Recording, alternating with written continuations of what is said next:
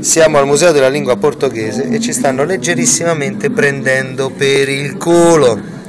Vedete che mette teus olhos seria teus olhos, non è teu olio, sopretto, pretto, con, do, con due T, capito? Pindurato una giannella, giannella sarebbe la finestra, sarebbe appeso alla finestra, ma non si dice giannella, si dice giannella con, J, insomma è una bella presa per il culo perché qui scrivono la divina encrenca. E solo per darvi un'idea, tra il 1870 e il 1907 gli italiani emigrati in Brasile sono 1.208.000, più di tutti. Poi diciamo che scendono un pochino ma comunque nel totale, nel totale sono quelli che sono emigrati di più in Brasile, 1.565.000.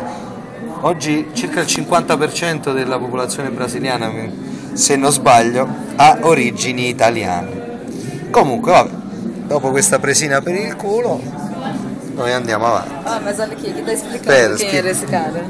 Chi? Questo che, ha scritto... scritto questo. Eh. Capo di un libro. Allora, qui spiega chi è questo tizio che ha scritto questo. Era un- lo, lo pseudonimo di questo Alessandro Machado che na decada di Days, nel 1910, pubblicò sui giornali di San Paolo cronache e versi scritti in una lingua ibrida tra portoghese e italiano che si diciamo che mh, si viene conosciuta dopo come portoghese maccheronico, come il nostro italiano maccheronico. Insomma, insomma, questo tizio ci prendeva per il culo, ecco, adesso lo sappiamo, potete odiare i, i brasiliani un po' di più adesso.